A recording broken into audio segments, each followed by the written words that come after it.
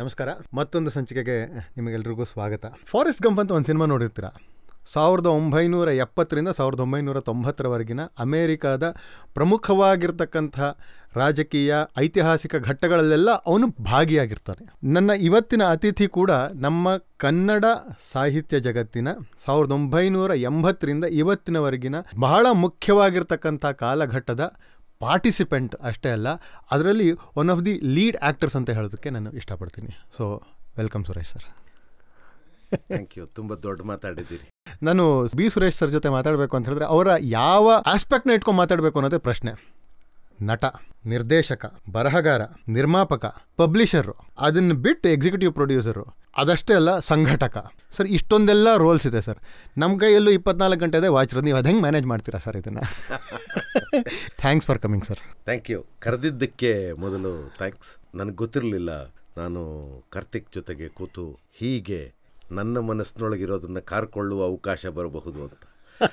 ಹಾಗಾಗಿ ಎರಡು ರೀತಿಯ ಸಂತೋಷ. ಪ್ರತಿ ಸರ್ತಿ ನಮ್ಮ ಆಡಿಯನ್ಸ್ ಹೇಳ್ತಾ ಇರೋದೇನಂತ ಹೇಳಿದ್ರೆ, ಇದು ವ್ಯಕ್ತಿ ಚಿತ್ರಣ ಅಲ್ಲ ಸರ್. ಅದ್ರ ಬದಲಾಗಿ ಈ ಪರ್ಫಾರ್ಮಿಂಗ್ ಆರ್ಟ್ಸ್ನ ಕಲೆ ಕ್ರಾಫ್ಟ್ ಮತ್ತು ಅದನ್ನು ಹೇಗೆ ಮಾರ್ಕೆಟ್ ಮಾಡ್ಬೋದು, ಈ ವಿಷಯಗಳನ್ನು ತಿಳಿಸುವಂಥ ಒಂದು ವಿಷಯ ಸರ್ ಇದು.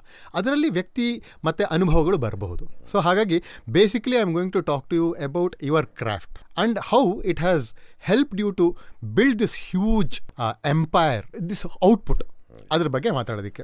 ನನ್ನ ಮೊಟ್ಟ ಮೊದಲ ಎಕ್ಸ್ಪೀರಿಯನ್ಸ್ ಅಂದರೆ ನಿಮ್ಮ ನಿಮ್ಮ ಒಡನಾಟ ಏನಂತ ಹೇಳಿದ್ರೆ ನಿಮ್ಮ ಹತ್ರ ಒಂದು ಟಾಟಾ ಸಿಯರ ಕಾರಿತ್ತು. ಅದ್ರ ಹಿಂದೆ ಸಾಧನೆ ಅಂತ ಬರೆದಿತ್ತು. ಐ ಥಿಂಕ್ ಟೂ ತೌಸಂಡ್ ಒನ್ನಲ್ಲಿ ನಾನು ಫಸ್ಟ್ ನಿಮ್ಮನ್ನು ಭೇಟಿ ಮಾಡಿದ್ದು ಸರ್. ಇವತ್ತಿಗೆ ಇಪ್ಪತ್ತು ಇಪ್ಪತ್ತೆರಡು ವರ್ಷ ಆಯಿತು. ಸಾಧನೆ ಸೀರಿಯಲ್ ಬರೆಯೋದಕ್ಕಿಂತ ಮುಂಚೆ ನೀವಾಗಲೇ ನಾಟಕ ಬರೆದಿದ್ರಿ. ಸರ್, ನಾಟಕವನ್ನು ಈ ಬರೀಬೇಕು ಅಂತ ಯಾಕೆ ಅನ್ನಿಸ್ತು? ನಿಮ್ಮಲ್ಲಿ ಬಹುಶಃ ಒಬ್ಬ ಬರಹಗಾರ ಇದ್ನೇನೋ. ಮನಸ್ಸಿನಲ್ಲಿರುವಂಥ ಭಾವನೆಗಳನ್ನು ಪದಗಳಲ್ಲಿ ಇಳಿಸಿ ಪಾತ್ರಗಳ ಮೂಲಕ ಕಟ್ಕೊಡಬೇಕು ಅನ್ನುವಂಥ ಯಾವ ಒತ್ತಡ ನಿಮಗೆ ಒಂದು ನಾಟಕ ಬರೆಯೋದಕ್ಕೆ? ಬಹುಶಃ ಅಹಲ್ಯ ನನ್ನ ತಾಯಿ ಬರೆದಿದ್ದ ಸರ್ ಅದು? ಇಲ್ಲ ನನ್ನ ಮೊದಲ ನಾಟಕದ ಹೆಸರು ಕೋತಿ ಕತೆ ಅಂತ. ಹಾ. ಅದು ಬೆಸಗರಹಳ್ಳಿ ರಾಮಣ್ಣ ಅವರ ಪ್ರಜಾಪ್ರಭುತ್ವ ಮತ್ತು ಮೂರು ಮಂಗಗಳು ಅನ್ನುವ ಕಥೆಯನ್ನು ಆಧರಿಸಿದ್ದು. ಈ ನಾಟಕ ಬರೆದಾಗ ನನಗೆ ಹದಿನೆಂಟು ಇನ್ನೂ ಆಗಿರಲಿಲ್ಲ.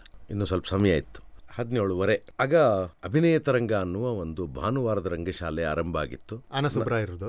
ಹಾ ಎ ಎಸ್ ಮೂರ್ತಿ ಆನಾ ಸುಬ್ಬರಾಯರ ಕಲಾಮಂದಿರದ ದೊಡ್ಡ ಆಲದ ಮರದ ಕೆಳಗೆ ಇದೊಂದು ಸಣ್ಣ ಗೂಡು. ಇದರೊಳಗೆ ಅಶೋಕ್ ಬಾದರದಿನ್ನಿ ಅವರು ಪ್ರಾಂಶುಪಾಲರಾಗಿದ್ದರು ಶ್ರೀನಿವಾಸ್ ಪ್ರಭು ನಾಣಿ ಹೀಗೆ ದೊಡ್ಡ ಘಟಾನುಘಟಿಗಳು ಮೇಷ್ಟ್ರುಗಳು. ನಾನು ಅಲ್ಲಿ ವಿದ್ಯಾರ್ಥಿ ಮೊದಲ ವರ್ಷದ ವಿದ್ಯಾರ್ಥಿ. ಅಭಿನಯ ತರಂಗದಲ್ಲಿ. ಹಾಂ. ಹಾಗೆ ವಿದ್ಯಾರ್ಥಿಯಾಗಿದ್ದವ್ರಿಗೆ ಇದ್ದ ಚಾಲೆಂಜ್ ಏನಪ್ಪ ಅಂತಂದರೆ ಆ ವರ್ಷ ನಲವತ್ತೈದು ಜನ ವಿದ್ಯಾರ್ಥಿಗಳು. ಆ ಭಾನುವಾರದ ರಂಗಶಾಲೆಗೆ. ಹದಿನೈದು ಜನಕ್ಕೇನೆ ಪಾತ್ರ ಕೊಡುವಂತಹ ನಾಟಕ ಸಿಗೋದು ಕಷ್ಟ. ಹೌದು ಹೌದು. ನಲವತ್ತೈದು ಜನಕ್ಕೆ ಟ್ರೈನಿಂಗ್ ಕೊಡೋಕೆ ಒಂದು ನಾಟಕ ಬೇಕಾಗಿತ್ತು. Okay okay. ಅದು ವಾರಕ್ಕೆ ಒಂದು ದಿವಸ ಕ್ಲಾಸು ಇನ್ನುಳಿದ ದಿವಸ ಸಾಯಂಕಾಲ ರಿಹರ್ಸಲ್ಲು ಅಂತ. ಸಾಯಂಕಾಲ ಏನು ಯೋಗಾಸನ ಅಂತೆ ವಾಯ್ಸ್ ಅಂತೆ ಏನೇನೋ ಮಾಡೋರು. ಒಂದು ನಾಟಕ ಬೇಕಲ್ಲ ಅಂತ ಹುಡುಕಾಡ್ತಿದ್ದಾಗ ನಾನು ದಿಢೀರನೇ ಬೆಸಗಳ್ಳಿ ರಾಮಣ್ಣವರ ಈ ಕಥೆಯನ್ನು ಓದುವ ಅವಕಾಶ ಸಿಕ್ತು. ಅಂದರೆ ಮುಂಚಿಂದ ಓದುವ ಅಭ್ಯಾಸ ಇತ್ತು. ಓದಿದ್ದೆ. ಇದನ್ನು ಟ್ರೈ ಮಾಡಬಹುದಲ್ಲ ಅಂಥೇಳಿ ಯಾರಿಗೂ ಹೇಳಲಿಲ್ಲ. ಬರೆಯೋಕ್ಕೆ ಶುರು ಮಾಡಿದೆ. ಬರೆದಿದ್ದೆಲ್ಲ ಆದಮೇಲೆ ಮೊದಲು ಅಶೋಕ್ ಬಾದ್ರದಿನ್ನಿ ಅವ್ರಿಗೆ ಕೊಟ್ಟೆ. ತುಂಬ ಖುಷಿ ಪಟ್ಬಿಟ್ರು. ಹೇ ಅದ್ಭುತವಾಗಿದೆ. ಇದನ್ನ ಹಿಂಗೆ ಸರಿ ಮಾಡು ಅದು ನಂಗೆ ಸರಿ ಮಾಡು ಹಿಂಗೆ ಮಾಡು. ಇದನ್ನೇ ತಗೊಂಡ್ಬಿಡೋಣ ಕ್ಲಾಸ್ ರೂಮ್ ಪ್ರೊಡಕ್ಷನ್ ಆಗಿ ಅವ್ರಿಗೆ ಸ್ಕ್ರಿಪ್ಟ್ ಸಿಕ್ಬಿಡ್ತಲ್ಲ ಬೌನ್ಸ್ ಸಿಕ್ಬಿಡ್ತಲ್ಲ ಇಷ್ಟೂ ಜನನ ಒಳಗೊಳ್ಳುವ ಸ್ಕ್ರಿಪ್ಟ್ ಸಿಕ್ಬಿಡ್ತಲ್ಲ ಹೌದು. ಸೊ ಹಾಗಾಗಿ ಮೊದಲ ಸಲ ಏನು ಪ್ರಯತ್ನ ಪಟ್ಟೆ ಅದಕ್ಕೆ ಅಶೋಕ್ ಬಾದ್ರದಿನ್ನಿ ಅವ್ರ ಮೆಚ್ಚುಗೆ ಸಿಕ್ಬಿಡ್ತಲ್ಲ. ಎನ್ ಎಸ್ ಡಿ ಇಂದ ಬಂದವರು ಮತ್ತೆ ನನ್ನ. ಮೇಷ್ಟ್ರು ನಾನು ಮೇಷ್ಟ್ರು ಅಂತ ಕರೀತಾ ಇದ್ದ ಈಗಲೂ ಅವರು ಇವತ್ತಿಲ್ಲ ನಮ್ಮ ಜೊತೆಗೆ. ಆದರೂ ಅವರನ್ನು ಸದಾಕಾಲ ಮೇಷ್ಟ್ರು ಅನ್ನುವ ಆ, ಆ ತರಹದ ಒಂದು ದೊಡ್ಡ ವ್ಯಕ್ತಿತ್ವ. ಒಳ್ಳೆ ಮೇಷ್ಟ್ರು ಕೂಡ ಅವರು. ರಂಗಭೂಮಿಗೆ. ಸೊ ಅಂಥವ್ರಿಂದ ಮೆಚ್ಚುಗೆ ಸಿಕ್ಬಿಡ್ತು. ಆಮೇಲೆ ಅವ್ರು ಹೇಳಿದ್ದೆಲ್ಲ ಕರೆಕ್ಷನ್ ಎಲ್ಲ ಮಾಡಿದೆ ಇನ್ನೊಂದು ಪ್ರತಿ ತೆಗೆದೆ ತೆಗೆದ ಮೇಲೆ ಅದನ್ನು ತಗೊಂಡು ಹೋಗಿ ಓದಿದ್ದು ಯಾರಿಗೆ? ರಾಜೀವ್ ತಾರಾನಾಥ್ ಅವರಿಗೆ. ಒಬ್ಬೊಬ್ಬ ಬಾದರ್ದಿನಿ ಅವರಿಗೆ ಮತ್ತು ರಾಜೀವ್ ತಾರಾನಾಥ್ ಅವರಿಗೆ ಒಂದು ಒಳ್ಳೆಯ ಸಂಪರ್ಕ. ಅವ್ರು ಯಾವುದೋ ನಾಟಕಕ್ಕೆ ಇವರು ಸಂಗೀತ ಮಾಡಿದ್ರಂತೆ. ನನಗೂ ಫ್ಯಾಮಿಲಿಗೆ ತುಂಬ ಬೇಕಾದವರು. ಸೊ ಅವ್ರ ಎದುರಿಗೆ ಈ ನಾಟಕ ಓದಿದ್ದು. ಸರ್ ಎಂಥ litmus test sir Rajiv Saranath ಮುಂದೆ ಓದೋದು? ಓದಿದ್ರೆ ಅವರು ಹೇ ಚಪ್ಪಾಳೆ ಹೊಡೆದ್ಬಿಟ್ರು ಹೇ ಚೆನ್ನಾಗಿದೆ ಕಣೋ ಅಂದರು. ಆಮೇಲೆ ನಮ್ಮ ತಾಯಿಗೆ she was also a big writer ಒಳ್ಳೆ ದೊಡ್ಡ ಪತ್ರಕರ್ತೆ ಅವ್ರಿಗೆ ಓದಿದ್ದು. ಆಮೇಲೆ ಪ್ರತಿಯನ್ನು ಎ ಎಸ್ ಮೂರ್ತಿ ಅವರಿಗೆ ಹೀಗೆ ಬೇರೆ ಬೇರೆಯವರು ಓದಿ ಆಮೇಲೆ ನಾಟಕ ರಿಹರ್ಸಲ್ ಶುರುವಾಯಿತು. ನಾಟಕ ಶೋ ಆಯಿತು. ನಾನು ಬರೆದ ಮೊದಲ ನಾಟಕ ನಾನು ಯಾವ ಕಾ ಇದರೊಳಗಡೆ ವಿದ್ಯಾರ್ಥಿ ಆಗಿದ್ದೀನೋ ಅಲ್ಲೇ ಅದರ ಪ್ರದರ್ಶನ. ಅದರಲ್ಲಿ ನಾನೂ ಒಂದು ಪಾತ್ರಧಾರಿ ಆ ಮೂರು ಕೋತಿ ಇಲ್ಲಿ ನಾನೂ ಒಂದು ಕೋತಿ. ಹೀಗೆ ಒಂದು ದೊಡ್ಡ ಜಗತ್ತು ಬಾಗಲ್ ತೆಕ್ಕೊಂಡ ಹಾಗೆ ಆಯಿತು. ನೀವು ನಾಟಕಕ್ಕೆ ಸೇರ್ಗೋದಕ್ಕಿಂತ ಮುಂಚೆ ಆ ಟೈಮಲ್ಲಿ ಅಂದ್ರೆ ನೈನ್ಟೀನ್ ಸೆವೆಂಟೀಸ್ ಏಯ್ಟೀಸ್ ಅಲ್ಲಿ ಬೆಂಗಳೂರು ಎಷ್ಟು ವೈಬ್ರೆಂಟ್ ಆಗಿತ್ತು ಅಂದ್ರೆ ಆಗ್ತಾನೇ ಕಾರಂತರು ಬಂದಿದ್ರು ಶಂಕರ್ ನಾಗ್ ಅವ್ರ ಪ್ರೊಡಕ್ಷನ್ಸ್ ನಡೀತಾ ಇತ್ತು ಆರ್ ನಾಗೇಶ್ ಅವರು ಇದ್ರು. ಸೊ ಈ ಥರದ ಈ ಹವ್ಯಾಸಿ ರಂಗಭೂಮಿ ಎಷ್ಟು ಮಟ್ಟಿಗೆ ನಿಮ್ಗೆ ಇನ್ಫ್ಲೂಯೆನ್ಸ್ ಮಾಡಿತ್ತು ನಿಮಗೆ? ಸಿಕ್ಕಾಪಟ್ಟೆ. ನನ್ನ ಮೊದಲ ರಂಗ ಪ್ರವೇಶ ಅಂತ ಆಗಿದ್ದೆ ಸಾವಿರದ ಒಂಬೈನೂರ ಎಪ್ಪತ್ತೆರಡರಲ್ಲಿ. ನನಗೆ ಒಂಬತ್ತು ವರ್ಷ ಇದ್ದಾಗ ಬಿ ವಿ ಕಾರಂತರ ಇಡಿಪಸ್ ಅನ್ನುವ ನಾಟಕದಲ್ಲಿ ನನಗೆ ರಂಗಪ್ರವೇಶ. ಸೊ ಜೋಕುಮಾರ ಸ್ವಾಮಿ ಇಡಿಪಸ್ಸು ಮತ್ತೆ ಇನ್ನೊಂದು ಸಂಕ್ರಾಂತಿ. ಸಂಕ್ರಾಂತಿ ಮೂರು ನಾಟಕ ಮಾಡಿದ್ರು. ಅದರಲ್ಲಿ ಇಡಿಪಸ್ ನಾಟಕ ಮಾಡುವ ದಿವಸ ನನ್ನ ತಾಯಿಯ ಜೊತೆಗೆ ಅವರು ಪತ್ರಕರ್ತರಾದ್ರಿಂದ ಅವರು ನನ್ನನ್ನು ಕರ್ಕೊಂಡೋಗಿದ್ರು ರವೀಂದ್ರ ಕಲಾಕ್ಷೇತ್ರಕ್ಕೆ ನಾಟಕ ನೋಡಕ್ಕೆ ಹೋಗಿದ್ದವನು ನಾನು. ಅವತ್ತು ಆ ಕುರುಡ ಮಿನಿನಿಯಸ್ಸೋ ಏನೋ ಪಾತ್ರ ಬರುತ್ತೆ ಅವನು ಭವಿಷ್ಯ ಹೇಳೋನು. ಅವನನ್ನು ಅವನ ವೇದಿಕೆಗೆ ಬರುವಾಗ ಅವನ ಕೈ ಹಿಡ್ಕೊಂಡು ಬರುವ ಒಬ್ಬ ಬಾಲಕ ರಾಜನಿಗೆ ಇವನು ಬಂದಿದ್ದಾನೆ ಅಂತ ಹೇಳುವುದು ಅಷ್ಟೇ ವಾಕ್ಯ. ಅದನ್ನು ಮಾಡಬೇಕಾಗಿದ್ದ ಹುಡುಗ ಜ್ವರ ಬಂದು ಮಲ್ಕೊಂಬಿಟ್ಟಿದ್ದ. ಅದು ಐ ಥಿಂಕ್ ಕಾಡು ಸಿನಿಮಾಲ್ ಮಾಡಿದ ನಟರಾಜ ಅಂತ ಕಾಣುತ್ತೆ. ಬೇರೆಯವರ ಗೊತ್ತಿಲ್ಲ ನನಗೆ. ಆ ಹುಡುಗ ಜ್ವರ ಬಂದು ಮಲಗಿಬಿಟ್ಟಿದ್ದಾನೆ. ನೀನು ಮಾಡಬೇಕಿದ್ನ ಅಂದರು. ಐದು ಗಂಟೆಗೆ ಹೋಗಿದ್ದೆ. ಆರೂವರೆಗೆ ನಾಟಕ. ಐದು ಗಂಟೆಗೆ ಕಾರಾಂತರು ಅಲ್ಲ ನಾಗಾಭರಣ ಅಂತ ಕಾಣುತ್ತೆ. ಆ ತರಹ ಯಾರೋ ಒಬ್ರು- ಸುಂದರ ರಾಜ ನಾಗಭರಣ ಅವರು ಇವ್ರು ಯಾರೋ ಒಬ್ಬರು ನನಗೆ ನಾಟಕದ ಡೈಲಾಗ್ ಹೇಳಿಕೊಟ್ರು. ಆಮೇಲೆ ಕಾರಂತರು ಬಂದು ಚೆಕ್ ಮಾಡಿದ್ರು. ಇಲ್ಲಿಂದ ಇಲ್ಲಿಗೆ ಬರಬೇಕು ಅಂತೆಲ್ಲ ಹೇಳಿದ್ರು. ನನ್ನ ರಂಗ ಪ್ರವೇಶ ಹೀಗಾಯಿತು. ಸಂಸದಲ್ಲಾಗಿದ್ದ ಸರ್ ಅದು? ಹೌದು. ಯಾಗಿನ್ನು ಸಂಸಾಂತ ಈಗೇನಿದೆ ಹಂಗೆ ಕಟ್ಟಿರಲಿಲ್ಲ. Open air theatre open air ಆಗೇ ಇತ್ತು. ದೊಡ್ಡ ಕಂಬಗಳು ಎಲ್ಲ ಇದೆಯಲ್ಲ ಆ ಕಂಬಗಳೇ ಆ ನಾಟಕದ ಬ್ಯಾಕ್ ಡ್ರಾಪ್ ಆಗಿತ್ತು ಆಕ್ರೋಪೋಲಿಸ್ ತರ ಕಾಣಿಸ್ಲಿ ಹೌದು ಹೌದು ರೋಮನ್ ತರ ಕಾಣಿಸ್ಲಿ ಅಂತ ಗ್ರೀಕ್, ಗ್ರೀಕ್ ತರ ಕಾಣಿಸ್ಲಿ ಅಂತ ಅನ್ನೋದು ಉದ್ದೇಶ. ಆ ನಾಟಕ ಆದಮೇಲೆ ಎಲ್ಲರೂ ಏನೋ ಬಾರೋ ತರಹದ ಗೆಳೆಯರಾಗ್ಬಿಟ್ರು ನನಗಿಂತ ತುಂಬ ದೊಡ್ಡವರು. ಎಲ್ಲರೂ ಏನೋ ಬಾರೋ ಅಂತ ಮಾತಾಡ್ಸೋದು. ಅಲ್ಲಿ ಹೈವದ್ನ ನಾಟಕ ಶೋ ಅಂತಂದರೆ ನಾ ಆಚೆ ಕಡೆ ನಮ್ದು ಇನ್ಯಾವುದೋ ನಾಟಕದ ಟಿಕೆಟ್ ಮಾರುವುದು ಹೋಗಿ ಹೈವದ್ನ ನಾಟಕ ನೋಡೋದು. ಸತ್ತವ್ರ ನೆರಳು ನಾಟಕ ಶೋ ಅಂದರೆ ನಾವು ಹೊರಗಡೆ ಇನ್ನೇನೋ ನಾಟಕ ರಿಹರ್ಸಲ್ಲು ತಕ್ಷಣ ಮಧ್ಯೆ ಹೋಗಿ ಒಂದು ಯಾವುದೋ ಹಾಡು ಕೇಳ್ಕೊಂಡು ಆಚೆ ಬರೋದು ಅಥವಾ ಇಡೀ ನಾಟಕ ನೋಡೋದು. ಹೀಗೆ ಒಂಥರಹ ಎಲ್ಲ ತಂಡಗಳ ಜೊತೆಗೆ ನನಗೊಂದು ವಿಶಿಷ್ಟವಾದ ಸಂಪರ್ಕ ಸಾಧ್ಯವಾಯಿತು. ಅದಕ್ಕೆ ನನ್ನ ತಾಯಿ ಪತ್ರಕರ್ತೆ ಅನ್ನೋದು ಕಾರಣ ಆಗಿರಬಹುದು ಅಥವಾ ಆಗ ಇದ್ದ ರಂಗ ಚಳುವಳಿ ಏನಿತ್ತಲ್ಲ, ಅದಕ್ಕಿರುವ ಒಳಗೊಳ್ಳುವ ಗುಣ ಕೂಡ ಕಾರಣ ಇದ್ದಿರಬಹುದು ಹೌದು ಅಂದ್ರೆ ಎಲ್ಲರೂ ಎಲ್ಲರನ್ನು ತನ್ನವರು ಅನ್ಕೊಳ್ಳೋ ಅನ್ಕೊಳ್ಳೋದು. ಅದು. ಯಾರು ಬಂದ್ರು ಬರ ಕೂತ್ಕೊಳ್ಳೋ ಬಜ್ಜಿ ತಗೊಳ್ಳೋ ಮಂಡಕ್ಕಿ ತಗೊಳ್ಳೋ ಕಾಫಿ ಕುಡಿಯೋ. ಆಮೇಲೆ ಸಣ್ಣವನ್ ಬೇರೆ ನಾನು. ಸೊ ಹೀಗಾಗಿ ಆ, ಯಾರ್ಯಾರಿಗೋ ಏನೇನೋ ಚೀಟಿಗಳನ್ನು ತಲುಪಿಸುವ ಅಭ್ಯಾಸ ಇರುವ ಹಲವು ಜನ ಇದ್ರು. ಅವ್ರಿಗೆಲ್ಲ ನಾನು ಕೊರಿಯರ್ ಬಾಯ್ ಕೂಡ ಆಗ್ತಾ ಇದ್ದೆ. ಆ ಸಣ್ಣ ಹುಡುಗ ಅಲ್ವ? ನನಗೂ ಅವ್ರು ಏನು ಕೊಡ್ತಿದ್ದಾರೆ ಅಂತ ಗೊತ್ತಿರ್ತಿರ್ಲಿಲ್ಲ. ಸೊ ಆ ಜರ್ನಿಯಲ್ಲಿ ಸುಮಾರು ಎಪ್ಪತ್ತೆರಡನೇ ಇಸ್ವಿಯಿಂದ ಎಂಬತ್ತ ಒಂದು, ಎಂಬತ್ತೆರಡರಲ್ಲೂ ಅಭಿನಯ ತರಂಗ ಆರಂಭ ಆಗುವವರೆಗೆ ನಾನು ನಿರಂತರವಾಗಿ ರಂಗಭೂಮಿಯಲ್ಲಿ ತೊಡಗಿದ್ದೆ. ಆ ಮಧ್ಯೆ ಎರಡು ಸಲ ಬೀದಿ ನಾಟಕದ ಜೊತೆಗೆ ಎರಡು ಸಲ ಇಡೀ ಕರ್ನಾಟಕ ಸುತ್ತಿದ್ದೆ. ಯಾರು ಮಾಡಿಸಿದ್ರು sir A S Murthy Murthy ಅವ್ರದ್ದು. ಈರಣ್ಣ. ಮತ್ತೆ ಪಪೆಟ್ ಶೋ ಅಂತ ಮಾಡೋರು ಅವರು. ಆ ಪಪೆಟ್ ಲ್ಯಾಂಡಿನಲ್ಲಿ ಮೊದಲಿಗೆ ನಾವು ಸುಮ್ಮನೆ ನೋಡಕ್ಕೆ ಹೋಗ್ತಿದ್ವಿ. ಎರಡನೇ ಸಲ ಮೂರನೇ ಸಲಕ್ಕೆ ನಾವೇ ಬೊಂಬೆ ಆಡಿಸೋರಾಗಿ ಕೂಡ ಕೆಲಸ ಮಾಡಿದ್ವಿ. ಸೊ ಪಪೆಟ್ ಆಡಿಸುವುದು ಕೂಡ ಗೊತ್ತಿತ್ತು. ಆ ಪಪೆಟ್ ಲ್ಯಾಂಡಿನ ಜೊತೆಗೂ ಎರಡು ಸಲ ಇಡೀ ಕರ್ನಾಟಕದ ಹಲವು ಮೂಲೆಗಳಲ್ಲಿ ಪರ್ಫಾರ್ಮ್ ಮಾಡುವ ಅವಕಾಶ ಸಿಕ್ಕಿತ್ತು. ಸರ್ ಇಷ್ಟು ಮಧ್ಯದಲ್ಲಿ ಸ್ಕೂಲ್ಗೆ ಏನಾದರೂ ಹೋಗ್ತಾ ಇದ್ರ ನೀವು? ಚೆನ್ನಾಗಿ ಹೋಗ್ತಿದ್ದೆ ಸ್ಕೂಲ್ಗೆ ಹೋಗ್ತಿದ್ದೆ ಬಡತನ ಇತ್ತು. ಏಳನೇ ಕ್ಲಾಸಿನವರೆಗೆ ಫ್ರೀ ಎಜುಕೇಷನ್ನು ಎಂಟನೇ ಕ್ಲಾಸಿಂದ ಫೀಸ್ ಕಟ್ಟಲೇಬೇಕಿತ್ತು ಅಂದರೆ ಈಗಿನ ಹೈಸ್ಕೂಲ್ ಅಂತ ಏನಿದೆಯೋ ಅದು ಈಗ ಬದಲಾಗ್ತಾ ಇದೆ. ಈ ಸಿಸ್ಟಮ್ ಕಾಲ ಕಾಲಕ್ಕೆ ಬದಲಾಗ್ತಾ ಇರುತ್ತೆ. ನಾನು ಓದ್ತಿದ್ದ ಕಾಲದಲ್ಲಿ ಎಂಟನೇ ಕ್ಲಾಸಿಂದ ಎಸ್ ಎಸ್ ಎಲ್ ಸಿ ಹತ್ತನೇ ಕ್ಲಾಸಿನವರೆಗೆ ಹೈಸ್ಕೂಲ್ ಅಂತ. ಈ ಹೈಸ್ಕೂಲಿಗೆ ಹನ್ನೆರಡು ರೂಪಾಯೋ ಹದಿಮೂರು ರೂಪಾಯೋ ತಿಂಗಳಿಗೆ ಫೀಸು ಕಟ್ಟಬೇಕಾಗಿತ್ತು ಯಾವ ಎಲ್ಲಿ ಓದಿದ್ದು ಸರ್ ಯಾವ ಹೈಸ್ಕೂಲ್ ಸರ್? ನಾನು ಬೆಂಗಳೂರು ಹೈಸ್ಕೂಲು ಹಾಂ ಬಿ ಎಚ್ ಎಸ್ ಹಾಂ. ಅದಕ್ಕೆ ಮುಂಚೆ ಒಂದು ವರ್ಷ ಇನ್ನೊಂದು ವುಮೆನ್ಸ್ ಪೀಸ್ ಲೀಗ್ ಅಂತ ಎಂಟನೇ ಕ್ಲಾಸಲ್ಲಿ ಓದಿದೆ. ಇನ್ನು ಉಳಿದಿದ್ದು ಬಿ ಬಿ ಎಚ್ ಎಸ್ ಅಲ್ಲಿ ಓದಿದೆ. ಈ ಹನ್ನೆರಡು ಹದಿಮೂರು ರೂಪಾಯಿ ಕಟ್ಟೋಕ್ಕೆ ಬೇರೆ ಮಾರ್ಗ ಇರಲಿಲ್ಲ. ನನ್ನ ತಾಯಿಗೆ ನೂರ ಇಪ್ಪತ್ತು ರೂಪಾಯಿ ಸಂಬಳ. ತಂದೆ ಜೊತೆಲಿರಲಿಲ್ಲ ದೇವರ್ ಸಪರೇಟ್ ತಾಯಿನೇ ನಮ್ಮನ್ನು ನೋಡ್ಕೋತಾ ಇದ್ದವರು. ಮನೆ ಬಾಡಿಗೆನೇ ಎಂಬತ್ತು ರೂಪಾಯಿ. ಇನ್ನು ನಲ್ವತ್ತು ರೂಪಾಯಿಯಲ್ಲಿ ಜೀವನ ನಡೆಸಬೇಕು. ಸೊ ಈ ತರಹದ ಕಷ್ಟಗಳಿದ್ವು. ಆಗ ನಾನು ಒಂದು ಜನಶಕ್ತಿ ಪ್ರಿಂಟರ್ಸ್ ಅಂತ ಗಾಂಧಿನಗರದಲ್ಲಿ. ಅಲ್ಲಿ ರಾತ್ರಿ ಹೊತ್ತು ಕೆಲಸ ಮಾಡ್ತಾ ಇದ್ದೆ. ನಲವತ್ತೈದು ರೂಪಾಯಿ ಸಂಬಳ ಕೊಡೋರು. ಫೋಲ್ಡಿಂಗ್ ಮಾಡೋದು ಪುಸ್ತಕ ಅಂಟಿಸೋದು ಅಂಟಿಸೋದು ಪಿನಿಂಗ್ ಬೈಂಡಿಂಗು ಪಿಂಗಿನಿಂಗ್ ಅಥವಾ ಇನ್ನೇ ಆ ಥರದ್ದೇನೋ ತುಂಬ ನನ್ನ ವಯಸ್ಸಿನವ್ರು ಏನು ಕೆಲಸ ಮಾಡ್ಬೋದು ಆ ಥರದ ಕೆಲಸ. ಮತ್ತು ಪ್ರೀತಿಯಿಂದ ನಲವತ್ತೈದು ರೂಪಾಯಿ ಕೊಡೋರು. ಅದರಲ್ಲಿ ನನ್ನ ಮತ್ತು ನಮ್ಮ ಅಣ್ಣ ಇಬ್ಬರದ್ದು ಸ್ಕೂಲ್ ಫೀಸ್ ಆಗೋದು. ಸೊ ಅದು ರಾತ್ರಿ ಒಂಬತ್ತು ಗಂಟೆಯಿಂದ ಒಂದು ಗಂಟೆವರೆಗೂ ಅಲ್ಲಿ ಕೆಲಸ ಮಾಡ್ತಿದ್ದೆ.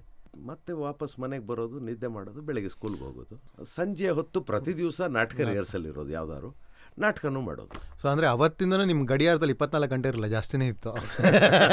ಸೊ ಅದು ಅದೊಂದು ತರಹದ ಆನಂದದ ಕಾಲ. ಮತ್ತು ಇನ್ನೊಂದು ಸರ್ ಎಂಥ ಕಲಿಕೆ ಅಲ್ವಾ ಸರ್ ಅದು? ಯಾಕೆಂದ್ರೆ ನೆಕ್ಸ್ಟ್ ನಾನು ಬರೋದೇನೆಂದರೆ ಈಗ ನಾಟಕಗಳನ್ನ ಬರೆದ್ರಿ.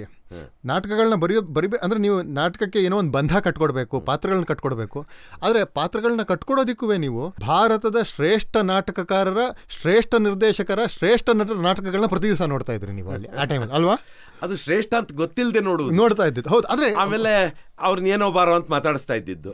ಬಿ ವಿ ಕಾರಂತರು ಕೂಡ ನನ್ನನ್ನ ಏ ಸೂರ್ಗಿ ಅಥವಾ ಸೂರಿ ಹೀಗೆ ತುಂಬಾ ಪ್ರೀತಿಯಿಂದ ಇನ್ನೇನೋ ಸುರೇಶ್ ಅವರೇ ಅಂತ ಕರೆಯುವಂಥದ್ದಲ್ಲ. ನಾನು ಎಲ್ಲ ದೊಡ್ಡ ನಟರನ್ನ ಗಿರೀಶ್ ಅವರೇ ಅಂತ ಕರೆಯೋಕೆ ಸಾಧ್ಯ ಇದ್ದಂತಹ ಒಂದು ಸಂಪರ್ಕ ಇತ್ತು. ಎಂಥ ಡೆಮೊಕ್ರೆಟಿಕ್ ಸೆಟಪ್ ಅಲ್ವಾ ಅದು? ಹೌದು ಮತ್ತು ಅವ್ರದ್ದು ಎಲ್ಲ ಫಾರ್ಮೇಟಿವ್ ಇಯರ್ಸು ಅವರು ಎಲ್ಲ ಏನೇನೋ ಬರಿತಾ ಇದ್ರು. ಅವ್ರು ಬರೆದಿದ್ದನ್ನ ಎಲ್ಲೋ ನಮ್ಮ ಮನೆಯಲ್ಲಿ ಒಂದೊಂದು ಸರ್ತಿ ರೀಡಿಂಗ್ ಇರೋದು. ಅಂಡ್ ಎಪ್ಪತ್ತಾರನೇ ಇಸ್ವಿ ನಂತರ ನನ್ನ ತಾಯಿ ಸ್ವಂತ ಪ್ರಿಂಟಿಂಗ್ ಪ್ರೆಸ್ ಆರಂಭ ಮಾಡಿದ್ರು. ಸೊ ಸಂಜೆ ಹೊತ್ತು ಅಮ್ಮನ ಪ್ರಿಂಟಿಂಗ್ ಪ್ರೆಸ್ಸಲ್ಲಿ ನನ್ನ ಕೆಲಸ ಆದಮೇಲೆ ಅಲ್ಲಿಗೆ ಹೋಗಿ ಮೊಳೆ ಜೋಡಿಸುವುದು ಇದೆಲ್ಲ ಮಾಡ್ತಾಯಿದ್ದೆ ಸೊ ಪ್ರತಿ ಸಲ ಒಂದು ಗಂಟೆ ಕೆಲಸ ಮಾಡಿದ್ರೆ ಎರಡೂವರೆ ರೂಪಾಯಿನ ಸಂಬಳ ಕೊಡೋರು. ತಾಯಿ ಕೊಡೋರು. ತಾಯಿ ಕೊಡೋರು. ಅಂದರೆ ಪ್ರಿಂಟಿಂಗ್ ಪ್ರೆಸ್ಸಲ್ಲಿ ಕೆಲಸ ಮಾಡಿದ್ದಕ್ಕೆ ಅಂತ ಹೇಳಿ. ಅದು ಕಲೆಕ್ಟ್ ಆಗಿದ್ದ ದುಡ್ಡಲ್ಲಿ ಯಾವಾಗ ಟೈಮ್ ಸಿಗುತ್ತೋ ಆಗ ಹೋಗಿ ಒಂದು ಸಿನಿಮಾ ನೋಡೋದು ಅಥವಾ ನಾಟಕ ನೋಡೋದು ಜೊತೆಗೆ ನಾಟಕ ಮಾಡುವುದು. ಇವೆಲ್ಲವೂ ಏಕಕಾಲಕ್ಕೆ ಆಗ್ತಾ ಇತ್ತು. ಸರ್ ಆಮೇಲೆ ಇನ್ನೂ ನಾನು ಯಾವಾಗಲೂ ನೋಡ್ತಾ ಇದ್ದಿದ್ದು ನೀವು ಎಷ್ಟೇ ಬ್ಯುಸಿ ಆಗಿದ್ರು ಸರ್ ಯಾವಾಗಲೂ ಓದ್ತಾ ಇರ್ತೀರಾ? ಆ ಓದುವ ಗುಣ ಹೆಂಗೆ ಬಂತು ನಿಮಗೆ? ಎಲ್ಲ ಜೀವನನೇ ಕಾರಣ ಕಾರ್ತಿಕ್. ಜೀವನ ಹಲವು ರೀತಿಯ ಅವಕಾಶಗಳನ್ನು ಕೊಡುತ್ತೆ. ನಾನು ಈಗಷ್ಟೇ ಮಾತಾಡ್ತಾ ಹೇಳಿದೆ, ತಂದೆ ತಾಯಿ ಸಪ್ರೇಟ್ ಆಗೋದ್ರು ಅಂತ.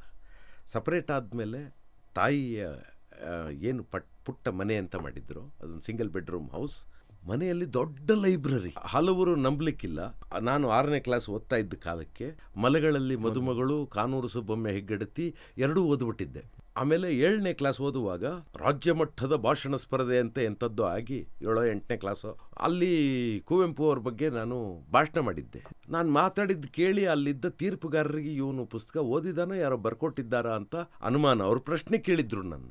ಆ ಪ್ರಶ್ನೆಗೆಲ್ಲ ಉತ್ತರ ಕೊಟ್ಟಿದ್ದೆ. ಅಂದರೆ ಇದಾಗಕ್ಕೆ ಕಾರಣ ಏನು? ಮನೇಲಿ ಪುಸ್ತಕ ಇತ್ತು. ನನಗೆ ಇನ್ಯಾವುದೋ ಬೇರೆ ಬೇರೆಯ ಆಟಗಳಲ್ಲಿ ದೊಡ್ಡ ಶಕ್ತಿ ಇರಲಿಲ್ಲ. ಕ್ರಿಕೆಟ್ ಆಡೋದು ಅಥವಾ ಇನ್ಯಾವುದೋ ಫಿಸಿಕಲಿ ಶಕ್ತಿ ಇರಲಿಲ್ಲ. ಅದು ಒಂಬತ್ತನೇ ಕ್ಲಾಸ್ ಆದ್ಮೇಲೆ ಸ್ವಲ್ಪ ಕ್ರಿಕೆಟ್ ಆಡದೆ ಅನ್ನೋದನ್ನು ಬಿಟ್ಟರೆ ಇನ್ನು ಉಳಿದ ಅದಕ್ಕೆ ಮುಂಚೆ ನನಗೇನು ಅಂತ ಶಕ್ತಿ ಇರಲಿಲ್ಲ. ಸೊ ಶಾಲೆ ಮುಗಿದ ಮೇಲೆ ಅಥವಾ ರಿಹರ್ಸಲ್ ಇಲ್ಲದೆ ಇರುವಾಗ ಮನೆಗೆ ಬಂದರೆ ಮನರಂಜನೆಗೆ ಅಂತ ಸಿಗ್ತಾ ಇದ್ದಿದ್ದು ಈ ಪುಸ್ತಕಗಳೇ. ಟಿ ವಿ ಇರಲಿಲ್ಲ ಅವಾಗ. ಟಿ ವಿ ಟೋಟಲಿ ಇರ್ ಬಂದೇ ಇರಲಿಲ್ಲ. ಆಕಾಶವಾಣಿ ಮಾತ್ರ. ಆಕಾಶವಾಣಿಗೆ ರೇಡಿಯೋ ಕೊಂಡ್ಕೊಳ್ಳೋ ಶಕ್ತಿ ಬೇಕಲ್ಲ. ಅದು ಇರಲಿಲ್ಲ ಮನೆಯಲ್ಲಿ. ರೇಡಿಯೋ ನಾ ಕೊಂಡ್ಕೊಂಡಿದ್ದು ಕೆಲಸಕ್ಕೆ ಸೇರ್ಕೊಂಡ್ಮೇಲೆ. ದಟ್ ವಾಸ್ ಮಚ್ ಲೇಟರ್ ಹ್ಞೂ. ಸೊ ಹೀಗಾಗಿ ಪುಸ್ತಕ ಓದು.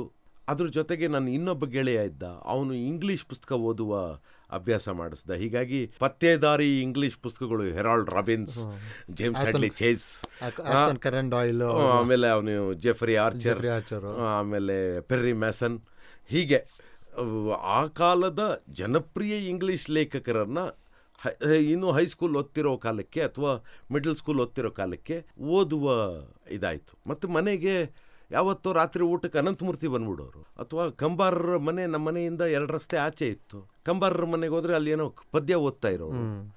ಯಾರೋ ಬಂದಿದ್ದಾರೆ ಅಂತ. ಅಥವಾ ಬೇರೆ ಯಾರೋ ಓದೋರು ಇಲ್ಲ ಕಂಬಾರರೇ ಓದೋರು.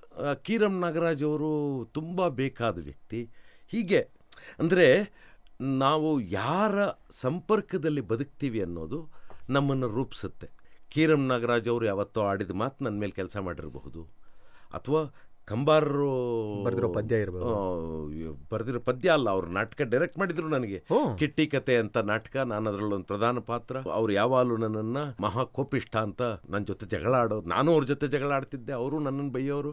ಹೀಗೆಲ್ಲ ವಿಚಿತ್ರವಾದ ಸಂಪರ್ಕ ನನಗೆ ಕಂಬಾರರ ಫುಲ್ ಸಂಪೂರ್ಣ ಫ್ಯಾಮಿಲಿಯ ಜೊತೆಗೆ. ಸೊ ಹೀಗಾಗಿ ಈ ಎಲ್ಲರ ಸಂಪರ್ಕದಿಂದಾಗಿ ನಾನು ಈಗ ಏನಾಗಿದ್ದೇನೋ ಅಥವಾ ಏನೇನು ಮಾಡಿದ್ದೇನೋ ಅದಾಗಿದ್ದೇನೆ. ಅಂದರೆ ಇದು ಇಟ್ ವಾಸ್ ನಿಮ್ಮ ಮನೆ ಒಂಥರ ಮೆಲ್ಟಿಂಗ್ ಪಾಟ್ ಥರ ಇತ್ತು ಸರ್ ಎಲ್ಲ ನಮ್ಮಮ್ಮ ಪತ್ರಕರ್ತರು ಅನ್ನೋ ಕಾರಣಕ್ಕೂ ಅಲ್ಲಿಗೆ ಅನಂತಮೂರ್ತಿ ಭೈರಪ್ಪನವರು ನೀವು ಯಾರನ್ನ ದೊಡ್ಡ ಮಾಸ್ತಿ ವೆಂಕಟೇಶ ಅಯ್ಯಂಗಾರ್ ಅದು ಎಷ್ಟೋ ಸತಿ ತಾಯಿ ಜೊತೆ ನಾನೇ ಹೋಗ್ತಿದ್ದೆ.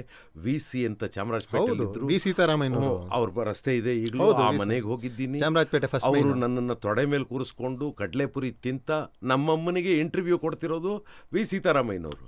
ನಾನು ಸೀತಾರಾಮಯ್ಯನವ್ರ ತೊಡೆ ಮೇಲೆ. ಅವರು ಕಡಲೆಪುರಿ ತಿನ್ನಿಸ್ತಾ ಉತ್ತರ ಕೊಡ್ತಾ ಇದ್ದಿದ್ದು. ಡಿ ವಿ ಜಿ ನೋಡಿದ್ರ ನೀವು? ಡಿ ವಿ ಜಿ ಕೂಡ ಚೆನ್ನಾಗಿ ಪರಿಚಯ. ನನ್ನನ್ನು ಹೆಸರಿಡಿದು ಕರೆದು ಮಾತಾಡಿಸುವಷ್ಟು ಚೆನ್ನಾಗಿ ಪರಿಚಯ ಇದ್ರು. ಡಿ ವಿ ಗುಂಡಪ್ಪನವರು ಅಥವಾ ಚಿದಾನಂದ ಮೂರ್ತಿಗಳು.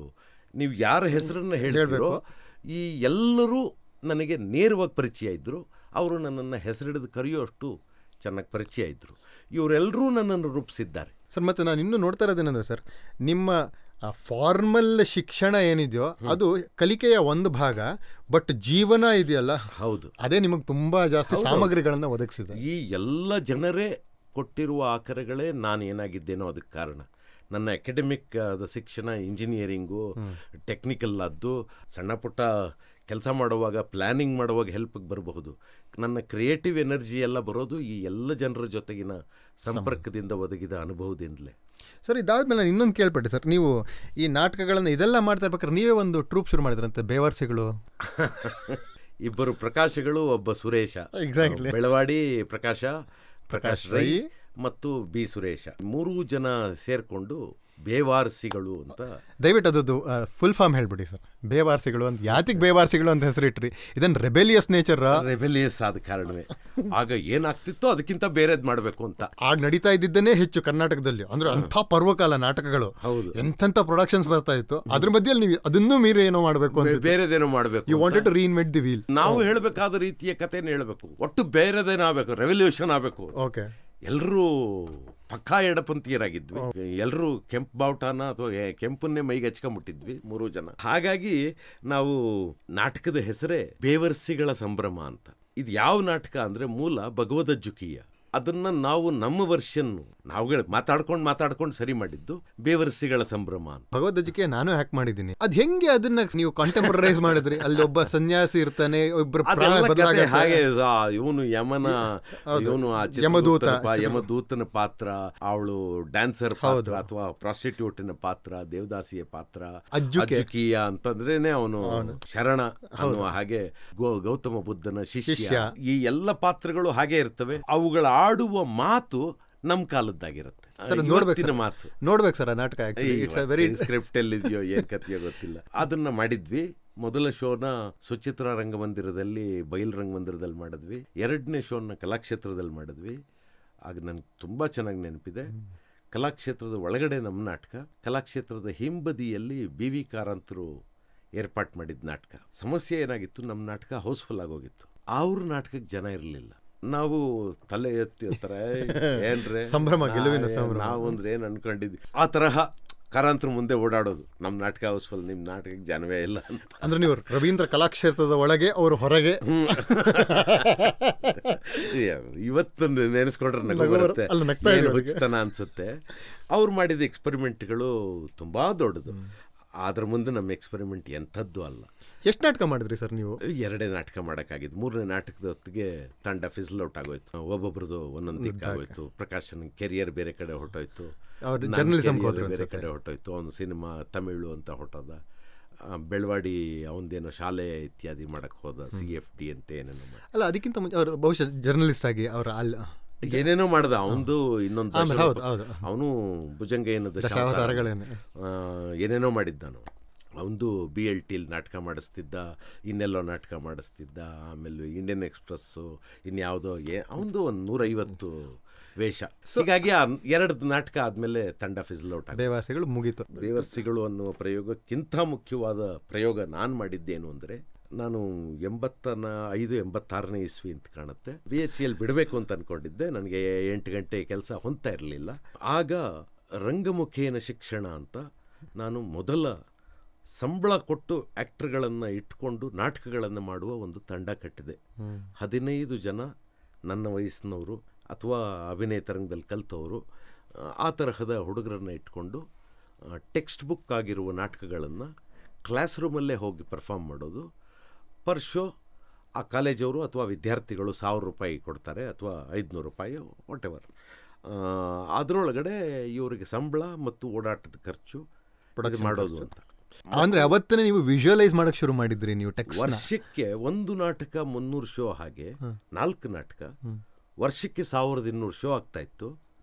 And we did three years ಮೂರು ಸಾವಿರದ ಆರುನೂರು ಶೋ ಮಾಡಿದ್ವಿ. ಆ್ಯಂಡ್ ಅಥವಾ ಒಂದು ಸ್ವಲ್ಪ ಹೆಚ್ಚು ಕಡಿಮೆ ಆಗಿರ್ಬೋದು. Number may be wrong also ಮೂರೂ ವರ್ಷ ಮೊದಲನೇ ವರ್ಷ ಒಂಚೂರು ಅಲ್ಲಿಗಲ್ಲಿಗಾಯಿತು ಖರ್ಚು. ಎರಡನೇ ವರ್ಷ ಮತ್ತು ಮೂರನೇ ವರ್ಷ ಲಾಭ ಮಾಡಿದ್ವಿ. ರಂಗಭೂಮಿಯಿಂದ ಲಾಭ ಮಾಡಬಹುದು ಅಂತ ಮೊದಲಿಗೆ ಒಂಥರ ಏ ನೋಡ್ರಿ ಲಾಭ ಮಾಡ್ಬೋದು ಅಂತ ಎಲ್ರಿಗೂ ಹೇಳುವ ಹಾಗೆ ಮತ್ತು ಎಲ್ರಿಗೂ ಸಂಬಳ ಕೊಟ್ಟು ಅವ್ರು ಇನ್ನೆಲ್ಲೂ ಕೆಲಸ ಮಾಡ್ತಿರ್ಲಿಲ್ಲ. ರಂಗಭೂಮಿನಲ್ಲಿ ಸಂಬಳ ಕೊಟ್ಟು ಕೆಲಸ ಇಟ್ಕೊಳ್ಳೋದೇ ಕಷ್ಟ ಸರ್. ಒಬ್ಬರಿಗೆ ಒಂದು ಶೋಗೆ ಐವತ್ತು ರೂಪಾಯಿ ಸಂಬಳ. ಒಬ್ಬೊಬ್ಬ. ಆ ಥರ ಒಂದು ದಿವಸಕ್ಕೆ ಮಿನಿಮಮ್ ಮೂರು ಅಥವಾ ಕೆಲವು ಕ- ಬೆಂಗಳೂರು ಯೂನಿವರ್ಸಿಟಿ ಆದರೆ ನಾಲ್ಕು ಶೋ. ಬೇರೆ ಕಡೆ ಆದರೆ ಮೂರು ಶೋ. ಸೊ ಒಂದು ದಿವಸಕ್ಕೆ ಅವ್ನು ಇನ್ನೂರು ರೂಪಾಯಿ ಬರೋದು. ಎಂಬತ್ತೈದು ಎಂಬತ್ತಾರರಿಂದ ಎಂಬತ್ತೆಂಟರವರೆಗೆ. ಇನ್ನೂರು ರೂಪಾಯಿ ಅಂದರೆ ಅವನು ಮಿನಿಮಮ್ ಅಂದ್ರೂ ಒಂದು ತಿಂಗಳಿಗೆ ಎಂಟರಿಂದ ಹತ್ತು ಸಾವಿರ ರೂಪಾಯಿ ಒಬ್ಬ ತಗೊಳ್ಳೋನು ಒಬ್ಬ ನಟ. ಒಬ್ಬ ನಟ. ಅವನು ನಟ ಮಾತ್ರ ಅಲ್ಲ ಅವನೇ ಬ್ಯಾಕ್ ಸ್ಟೇಜು ಅವನೇ ಮೇಕಪ್ಪು ಹೀಗೆ ಎಲ್ ಎಲ್ಲರೂ ಎಲ್ಲವನ್ನೂ ಮಾಡ್ತಾ. ಇದ್ರಿ. ಯಾರೋ ಬೆಳಿಗ್ಗೆ ಹೊತ್ತು ಅಡುಗೆನೂ ಮಾಡೋರು ಇನ್ಯಾರೋ ಒಬ್ಬರು ರಾತ್ರಿ ಲೈಟು ಕಟ್ಟೋರು ಇನ್ನೊಬ್ಬರು ಬಟ್ಟೆನೂ ಇಸ್ರಿ ಮಾಡೋರು. ಎಲ್ಲರೂ ಎಲ್ಲ ಕೆಲಸ ಮಾಡ್ತಿದ್ವಿ. ಹದಿನೈದು ಜನ ತುಂಬ ಸಂತೋಷವಾಗಿದ್ವಿ. ಸರ್ ನನಗೆ ಸಂತೋಷ ಆಗೋದೇನೆಂದರೆ ಸರ್ ನಾನು ಪ್ರತಿ ಸರ್ತಿನೂ ಅಂದ್ಕೊಳ್ಳೋದು ನಿಮ್ಮ ಎಂಟರ್ಪ್ರಿನಲ್ ಕೆಪಾಸಿಟಿ ಇದೆಯಲ್ಲ ಸರ್ ಅಂದರೆ ಹೊಸ ಹೊಸದಾಗಿ ಉದ್ದಿಮೆಯನ್ನು ಸೃಷ್ಟಿ ಮಾಡ್ಕೊಳ್ಳೋದಿದೆಯಲ್ಲ ಸರ್. ಅದು ಯಾವುದೋ ಒಂದು ನೀಡ್ ಇರುತ್ತೆ ಒಂದು ಅವಶ್ಯಕತೆ ಇರುತ್ತೆ ಆ ಅವಶ್ಯಕತೆಗೆ ಬೇಕಾಗಿರುವಂಥ ಒಂದು ಪ್ರಾಡಕ್ಟ್ನ ಕ್ರಿಯೇಟ್ ಮಾಡೋದಿದೆಯಲ್ಲ ತುಂಬ ಅದ್ಭುತವಾಗಿರೋದು ಐಡಿಯಾ ಸರ್. ಸೊ ನೆಕ್ಸ್ಟು ನಾಟಕಗಳಾಯಿತು ತಕ್ಷಣ ಕಿರುತೆರೆಗೆ ಬಂದರು ಅಥವಾ ಸಿನಿಮಾಗಳಿಗೆ ಹೋದರು ಸರ್?